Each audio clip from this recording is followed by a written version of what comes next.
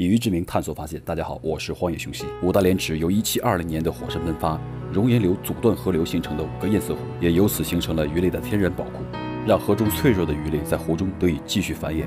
我曾在湖中钓过鲫鱼、鲤鱼、鲢鳙等，这里的水质极好，鱼的肉质紧致嫩滑。湖中原生的狗鱼、澳华、大白鱼，甚至还有稀有的折罗龟。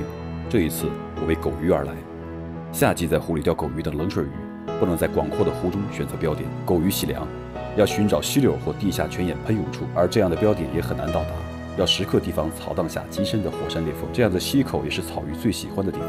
悄悄地进来，你可以看到成群的草鱼啃食草。这里的狗鱼存量已经很小，渔民也很少见到，所以钓狗鱼需要耐心和时间。这一次我用了两天的时间，探索了五处溪口，终于钓获了一条五大连池狗鱼。很多人问我，你这样钓为了什么？我想说，探索未知是人类的本能。如果通过的鱼竿带你了解到了未知自然环境中的鱼类，哪怕是唤醒了一点点环境保护意识，也是我的价值。这是我一生的追求。你可以说我假高尚，但我绝对真实。